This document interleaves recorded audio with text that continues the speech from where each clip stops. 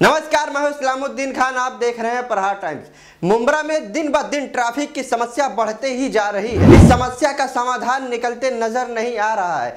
Mumbra station से अगर आपको सिलफाटा की तरफ़ जाना है तो ट्रैफ़िक में आपको घंटों तक फंसे रहना पड़ सकता है। ट्रैफ़िक जाम की समस्या सबसे बड़ी है कि लोगों को अक्सर गलत दिशा की तरफ़ गाड़ियों को चलाते हुए देखा गया है, और सबसे बड़ी ट्रैफ़िक की जो समस्या सामने आ रही है, वो जो सड़कों पर कट बना हुआ है। उस कट से अगर कोई भी गाड़ी पार होती है तो जाम जैसी स्थिति पैदा हो जाती है। इसी को देखते हुए मुंब्रा पुलिस ने कल एक बैठक बुलाई थी। बैठक में इन सभी समस्याओं को देखते हुए डेमो के ज़रिए कुछ जानकारियाँ दी गई हैं। रेलवे स्टेशन को मुंब्रा पुलिस स्टेशन का ही दिखा है, जहाँ नो पार्किंग जोन हम कर सकते हैं। दोनों ब्रिज के ओवर ब्रिज जो है, उसके साइड में जो गाड़ियाँ लगती है, वो ये सिर्फ़ हमारी तरफ़ से सजेशन है। इस पे आप अपना विचार नोट कर सकते हैं कि ऐसा यहाँ ऐसा होना चाहिए या नहीं होना चाहिए? ये नो पार्किंग जोन कर सकते हैं।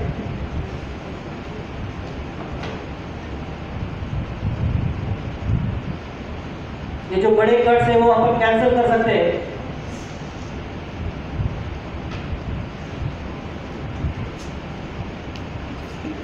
और मुमरा पुलिस स्टेशन के बाजू में एक रिक्शा स्टैंड यहाँ पे हम कर सकते हैं। दे कि हमको इस पे सोल्यूशन आप लोगों को देना है, इसीलिए मीटिंग मीटिंग ले तो मीटिंग लेने की कोई ज़रूरत नहीं प्रॉब्लम चल रहा है चलने दो हमको क्या प्रॉब्लम ठीक है मीटिंग लेंगे आप बोलेंगे ट्रैफ़िक है, हम बोलेंगे चलो और दो लोग देंगे, दूसरे दिन चार लोग देंगे, चलो चल रहा है। बट ऐसा नहीं है। हमने बोला है कि मीटिंग लेने का मकसद ये है कि कुछ ना कुछ तो इसमें सुझाव आने के बाद और कुछ ना कुछ हमने प्रयास करने के बाद कोई ना कोई तो चेंज जो है, वो चेंज ज़रूर आए ये जो अभी काले साहब ने बताया, जो भी कार्रवाई हम कार्रवाई करेंगे।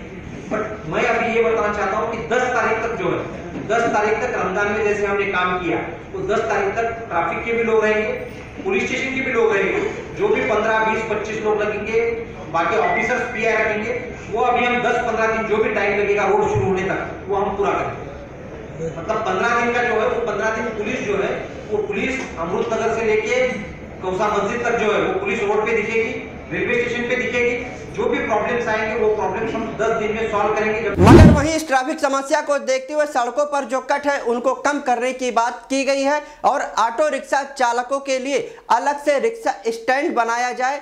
मुमरा स्टेशन पर अलग से एक कांस्टेबल हो जो सिर्फ़ कतार में रहने वाले लोगों को ऑटो रिक्शा में बिठा सके।